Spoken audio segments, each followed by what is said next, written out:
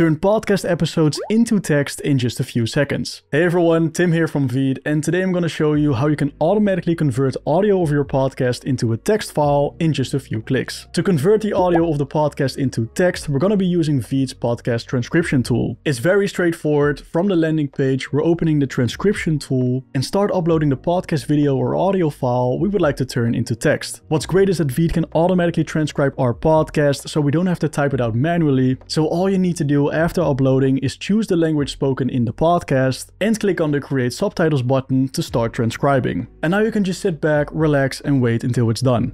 And then after a moment, you'll have a full transcript ready of your podcast. Welcome back to another enlightening episode of Reflect and Connect the podcast where we explore the depths of self awareness. The menu in Veed's editor allows you to fully customize the text in any way you prefer. If you're ready to download your podcast transcript, click on options in the subtitles menu and head over to download. Or if you came through the landing page from earlier, simply click on the download button in the bottom right corner and choose the format you would like to download your text as. In this case, we only want to have text, so we're going to choose the text file but an SRT or VTT file could be super helpful if you want to use your transcript as synced subtitles. This could come in handy if you uploaded your podcast as a video or audiogram on YouTube, so you could upload your SRT or VTT file as closed captions for everyone to read. As I said, for now only the text file will do, so we're gonna keep it checked and click on the download button to download it to our device. Now, when I check my downloads folder, I can find and open the text file with my transcribed podcast audio that we all created in just a few minutes. So that's how you transcribe your podcast. I hope this video was helpful.